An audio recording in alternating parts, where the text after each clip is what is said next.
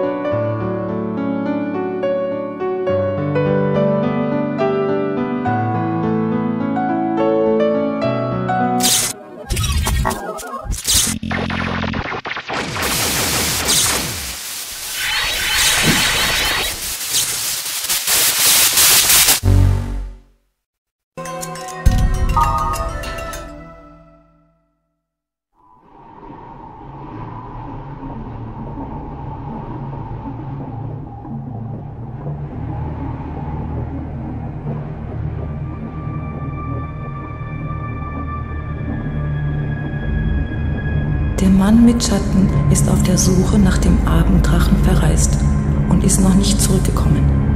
Der Herd der Finsternis grollt. Helba, Königin der Finsternis, stellt schließlich ein Heer auf. Aberon, König des Lichts, reagiert. Die beiden treffen sich am Fuße des Regenbogens. Die verfluchte Welle muss gemeinsam bekämpft werden. Der See von Alba brodelt. Der große Baum des Lichts fällt. Alle Macht zerfällt zu Tropfen unter dem Tempel von Archeköln. Wesen ohne Schatten, ihre Welt zerfällt zu nichts. Der Mann mit Schatten, auf der Suche nach dem Abenddrachen, kehrt niemals mehr zurück.「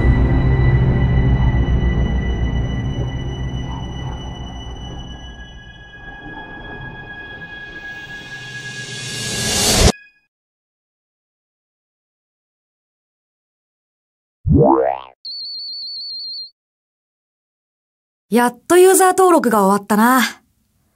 あとは名前の確認だけか。安彦のやつ、もう待ってるだろうな。早く終わらせなくっちゃ。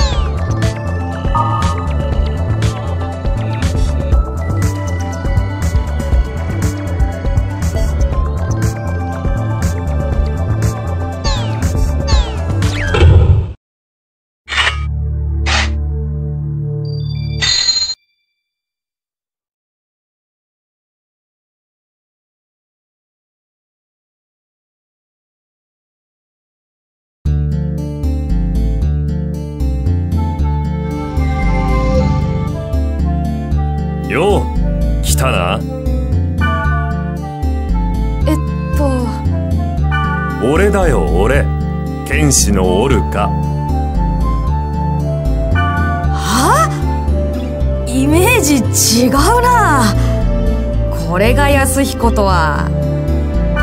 だからここではオルカなの。まリアルではともかくここじゃちょっとしたもんなんだぜ。なんだよ。いやいいかも。とりあえずこれメンバーアドレスっていうのはザ・ワールドの中でだけ使用できる簡易メールのアドレスのことだ。簡易メールを使えばザ・ワールドでプレイしている限り瞬時にメッセージを送り合うことができる。まあゲームを開始したプレイヤーが知り合いに連絡を取ってパーティーを組む時に使うのが一般的だな。んじゃあ試しに俺をパーティーに誘ってみてくれよ。まず最初に三角ボタンでメニューを開いてくれ。メニューの中からパーティーを選択してくれ。次は入れるを選択だ。ここに今までメンバーアドレスをもらった PC の名前が登録される。パーティーに入れたい PC をセレクトして簡易メールを送るわけだ。まだ始めたばっかだから俺の PC 名しか登録されてないだろうけどな。んじゃ丸ボタンを2回押して簡易メールを送ってみな。ん来た。パーティー編成希望。なんか目の前でメールを送り合うのは照れくさいな。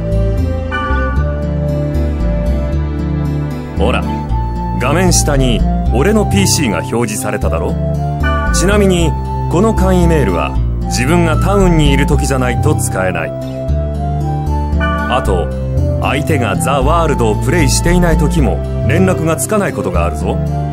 みんな自分の都合があるし24時間プレイしてるわけじゃないからな。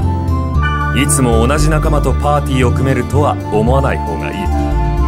だからなるべく多くの PC と知り合ってメンバーアドレスをもらっておいた方が楽しくプレイできると思うぜ。まどう遊ぶかはお前の勝手だけど経験値とかパーティーの人数と関係なく入るし一人でプレイしてもメリットないんだよな。さてそろそろ冒険に出てみようか。心配すんなって。ちゃんと初心者向けの場所を探しておいたからさ。これがカオスゲート。俺たちが今いるタウンから他の場所に行くための転送装置みたいなもんだな。んじゃ丸ボタンを押してみて。ザ・ワールドでは冒険の舞台をエリアって呼んでいるけど新しく入力を選んでくれ。これがワード入力画面だ。ここに A パート B パート C パートに分かれた3つのワードが入力される。ワード入力プレートの左下にあるのは現在持っているワードのストックだ。ワードのストックはメールや BBS 他の PC からの情報で増やすことができる。さて実際にワードを入力してみようか。ストックの中から「燃え立つ」を選んでくれ。よし。次は B パートだ。杉越のを選んでくれ。最後は C パート。壁のを選んでくれ。よし。これでエリアの指定は OK だ。あそうそう。ワードの脇にマークがついてるだろ？それはサーバーシンボルといって現在のサーバーを示している。このマークはデルタだからちなみにプレートの右側にあるのがエリアのステータスリスト。フィールドタイプとかダンジョン。あれは現在選んでいるワードがそのステータスに影響しているってこと。例えばフィールドタイプの場合一番これは C パートのワード壁のがフィールドタイプを決定してるわけだ。実際にどんなタイプに決定しているかは言ってみるまでわからないけど一度そのワードの影響を覚えてしまえば別のワードとの組み合わせに応用できる。まあ詳しいことは BBS で解説してるから。よし。デルタサーバ燃え立つ杉越の壁野に出発だ。転送するを選んでくれ。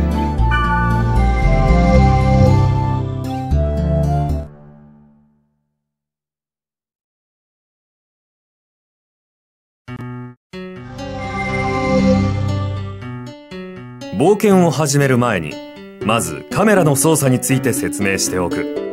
このゲームではあらゆる方向から敵が襲撃を仕掛けてくるから素早くカメラを動かして的確な視点で敵を捉え戦況を把握することが重要なテクニックになっている。後で説明するけど攻撃魔法などのスキルも画面内にいる敵しかターゲットにできない。つまりきちんとカメラ操作ができないといつの間にか敵に囲まれて反撃できずに全滅。なんてこともあるわけだ。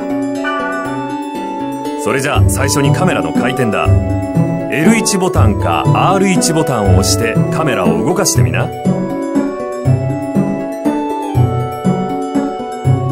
そうだ。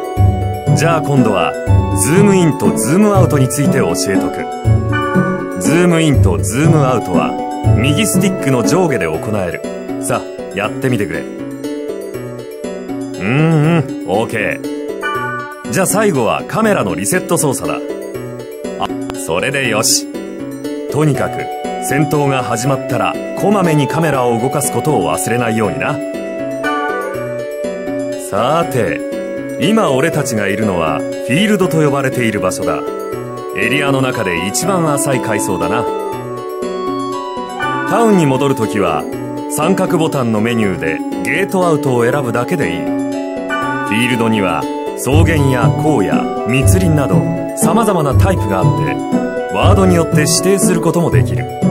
このフィールドタイプと天気の組み合わせがエリアの属性を決定しているんだ。例えばフィールドタイプが草原で雨が降っている場合この属性ってやつは出現するモンスターの種類や入手できるアイテムにも影響している。ま最初のうちは気にしなくてもいいけど慣れてきたら属性を意識してワードを組み替えてみるといいぞ。さあ冒険の開始だ。それじゃあ画面右にあるマップを見てくれ。下向きの赤い矢印が表示されてるところがあるだろそれがダンジョンの入り口だ。ダンジョンの最下層にはアイテム心臓が安置されていてグレードの高いアイテムが祀られている。このアイテム心臓を目指すのが基本的な冒険の目的だな。ただしダンジョンの中にはフィールドより強い敵が出ることが多いから先にフィールドでレベル上げした方がいいな。よしちょっと待ってろ。妖精のオーブってアイテムを使うとこんな風にマップの隠された情報を見ることができる。マップの中に表示された黄色いマークは魔法陣といって。よしじゃあ実際に戦闘やってみるか。マップの魔法陣目指して出発だ。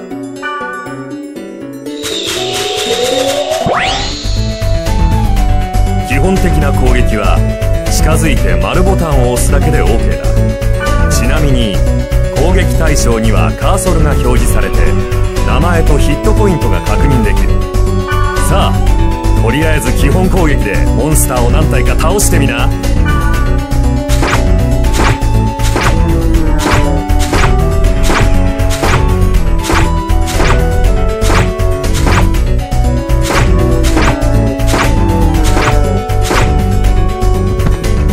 とりあえず戦闘のコツは分かってきただろう。んじゃ次はいよいよスキルだ。三角ボタンを押してメニューを開きスキルを選択してみてくれ。よし。それじゃあ一覧の中からリプスを選んでくれ。ターゲット選択のカーソルが出る。そうそう。簡単だろ？回復治療系のスキルは仲間。攻撃系のスキルは敵がターゲットになる。さっきも言ったけどターゲットにできるのは画面内にいる対象だけだ。スキルを使う前にカメラを動かして対象を画面内に入れるように心がけるといいぞ。さてお前もずっと命令されっぱなしで面白くないだろう。今度はお前がチャットコマンドを使って俺に指示を送ってくれよ。そうだな。じゃあお前が仲間に回復してほしい時の指示を教えといてやる。よし。じゃあ四角ボタンを次にメニューの中から。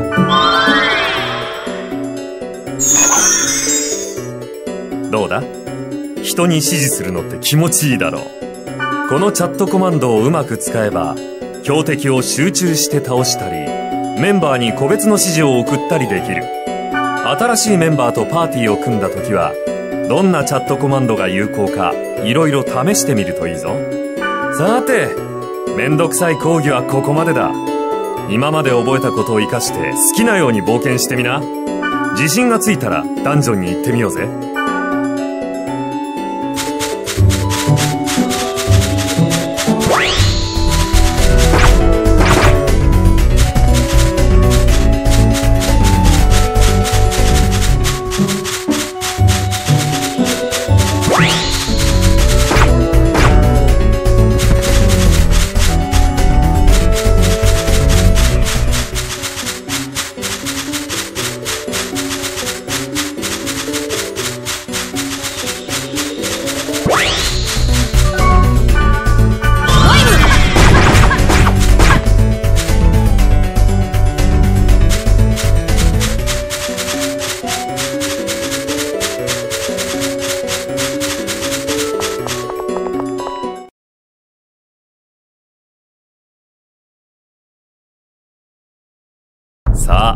よいよダンジョンの探索だ。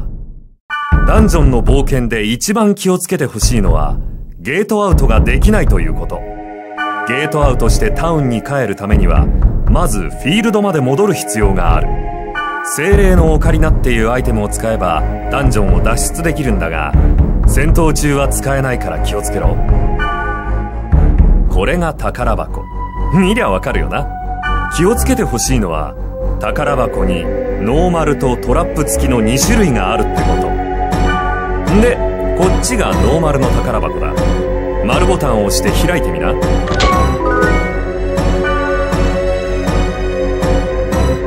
こっちが危険な宝箱。色が違うだろ？このまま開けようとするとトラップが作動してひどい目に遭うぞ。こんな時はトラップ解除用アイテムの幸運の針金を使えばいい。ほらこれで大丈夫。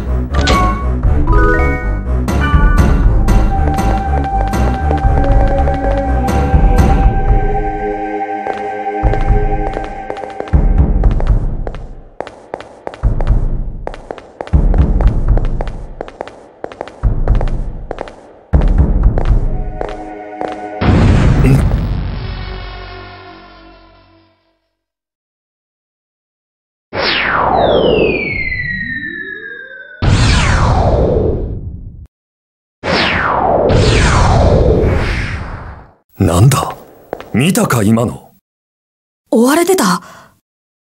それもそうだけど、このレベルにあんなのいたか？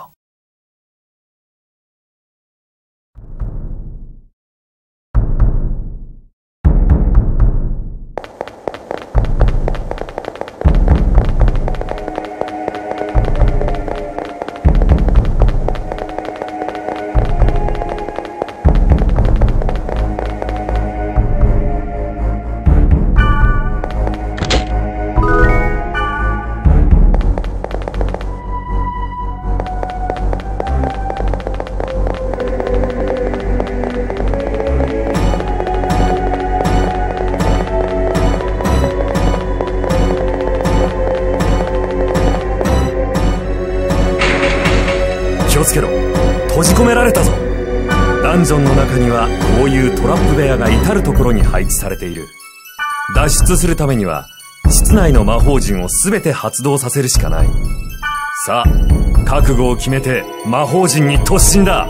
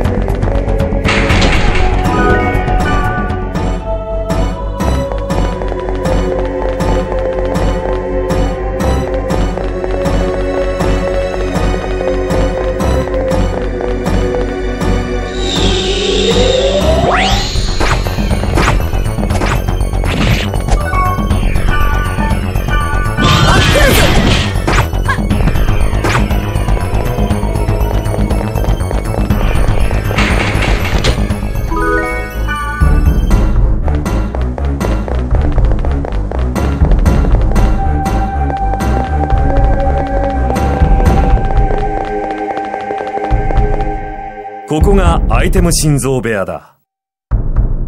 アイテム心臓はダンジョンの最下層に一つだけ配置されていて、そこからはグレードの高いアイテムが入手できる。ここまで来れれば冒険も一段落だな。心臓に捧げてあるお宝を取ったらそろそろタウンに戻ろうか。と、本来ならここで精霊のオカリナを使えば一発でフィールドに戻れるんだが、今は持ってないので仕方ない。来た道を戻ろうぜ。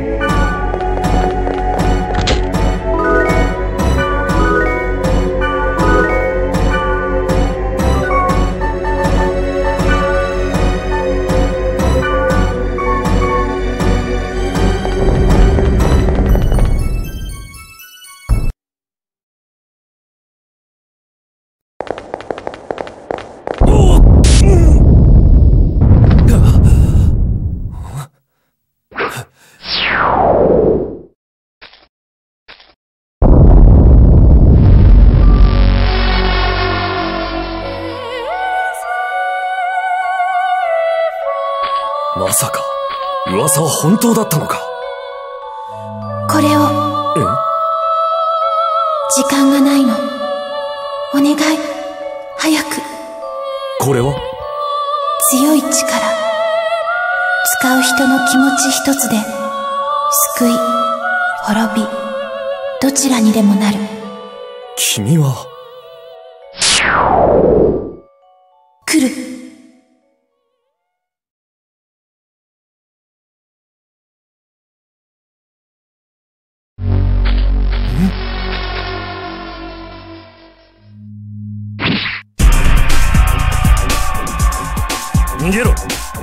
じゃ即死だ。なんだこの攻撃。それにこいつ。普通じゃない。攻撃が効いてない。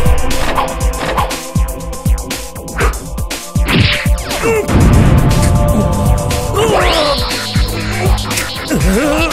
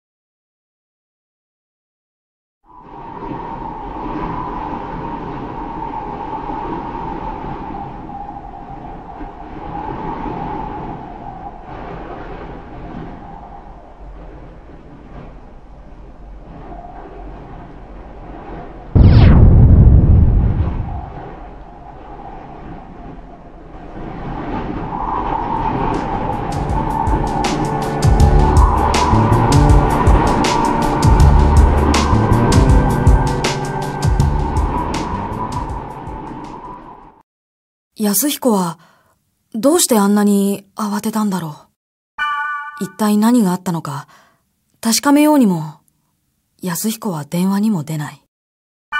そして、安彦が入院したことを僕が知ったのは、翌日になってからだった。すぐに病院に行ったけど、安彦には会わせてもらえなかった。でも、それでよかったのかもしれない。弱った安彦は見たくない。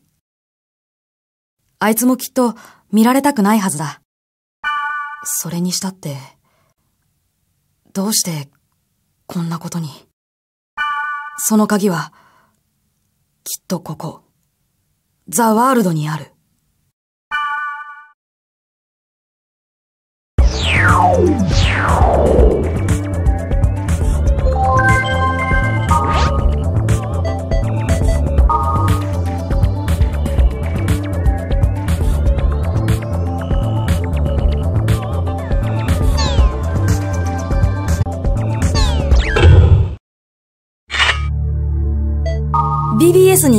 込みをしておこう。何か手がかりになるレスがつくかも。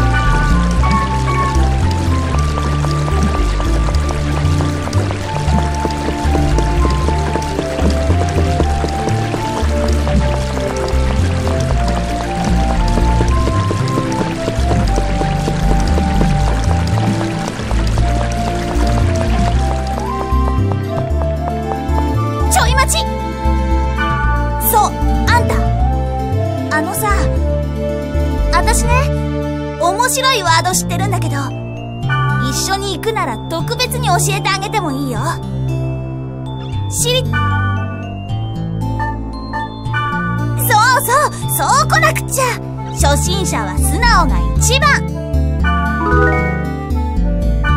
ワードはデルタサーバ隠されし禁断の聖域だからね。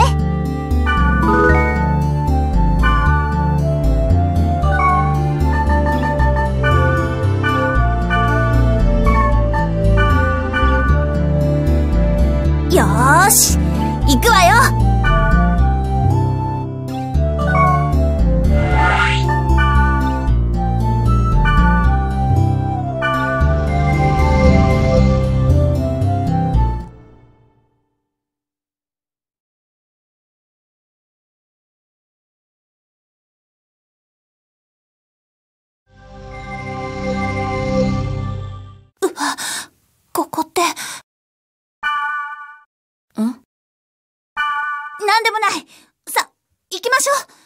男の子なら、ちゃんとエスコートする。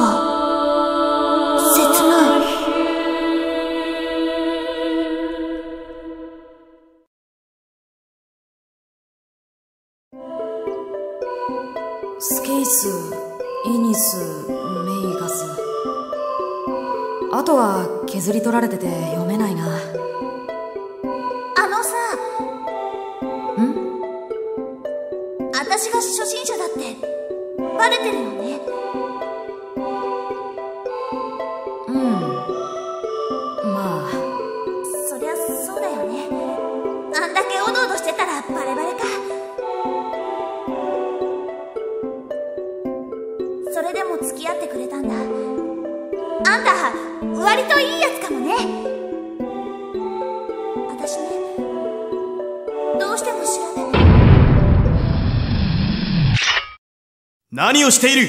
何ってあんたこそ何よ！言い合っている暇はない。ここは危険だ。は？逃げろと言っている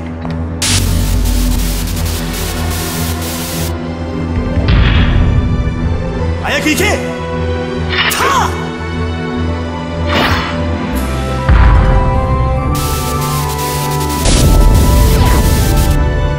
あ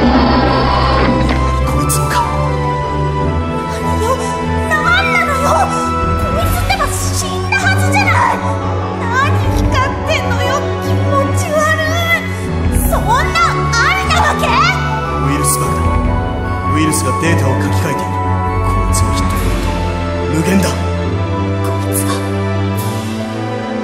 俺がしばらく時間を稼ぐ。その間に脱出しろ。殺してやる無理だ。これは倒せん。こいつに構うな死ぬぞ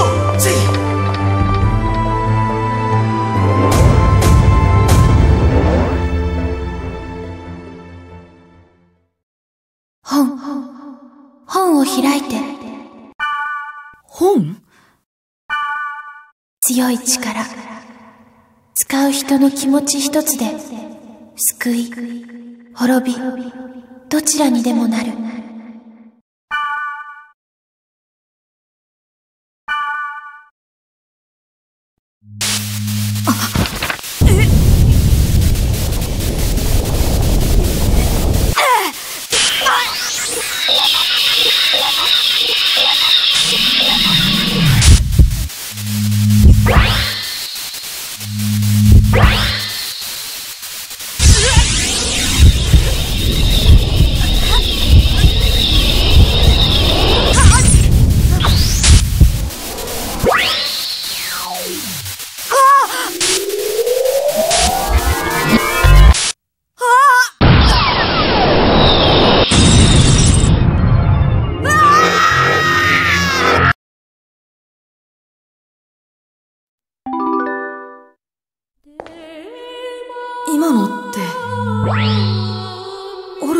ルカの時と。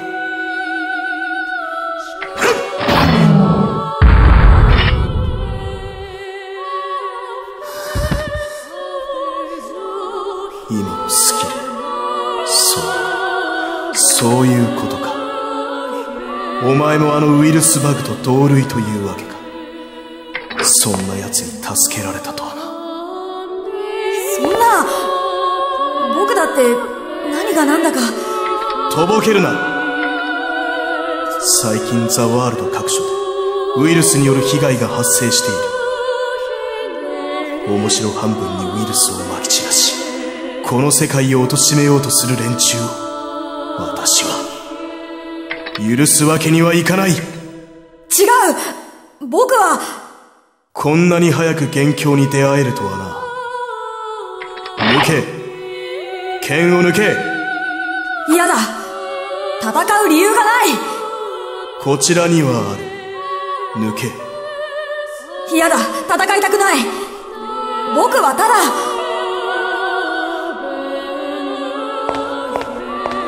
ちょっとあんた。助けてもらっといて。それはないんじゃない？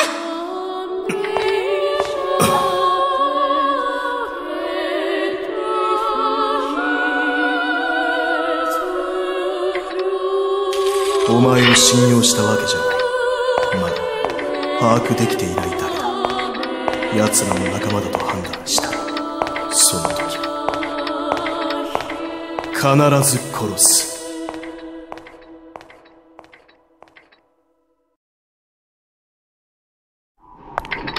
フィアナの末裔、蒼天のバルムンク。にしては、大人げないんじゃない？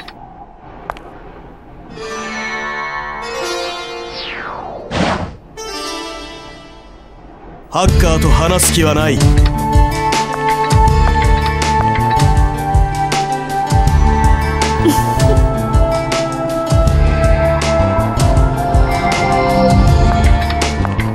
彼はねあ、なたのパートナーの友人。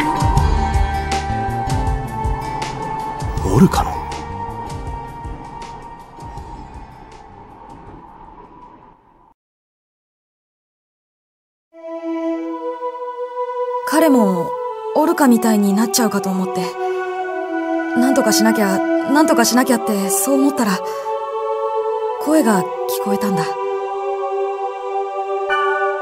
オルカに本を渡したあの女の子の声だったと思うそっか。でもさ、どうする？またウイルスバグが出てきたら。その力は、あんたの友達を、その、ごめん。よくわからないんだ。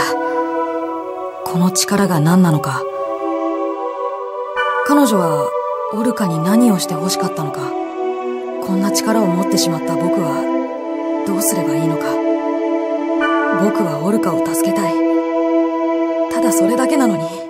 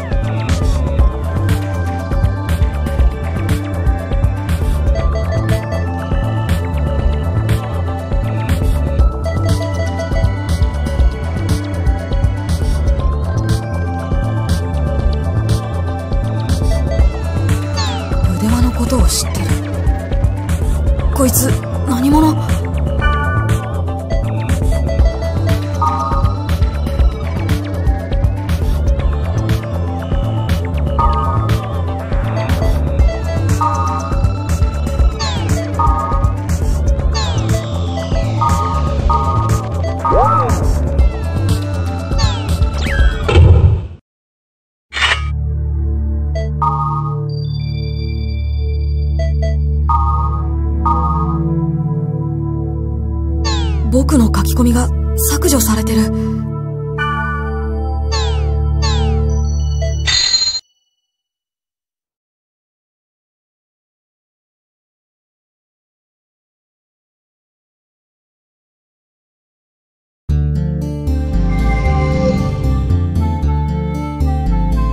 裏通りを変な PC が歩いてたよ。なんか猫っぽいの。あんなのエリートできたっけ？猫？ああ見た見た。俺はバニーちゃんのがいいな。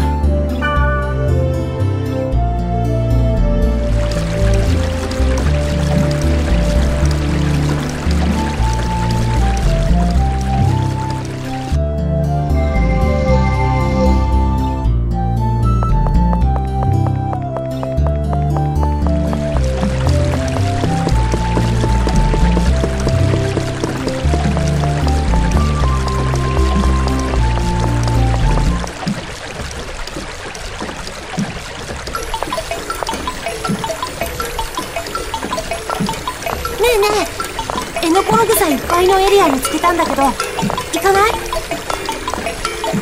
行く行く。じゃあ、装備を整えて。あ、ミ君君。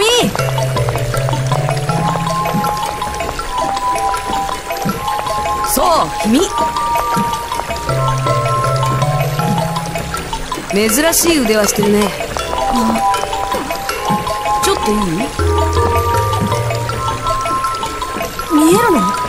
もちろん。君にはこの素敵な腕輪が見えないの？目に見えなくてもそこにあると分かってるなら見えているのと一緒だけどね。ではミヤ何のこと？僕には何も見えないよ。ありがとう。いいもの見せてもらったよ。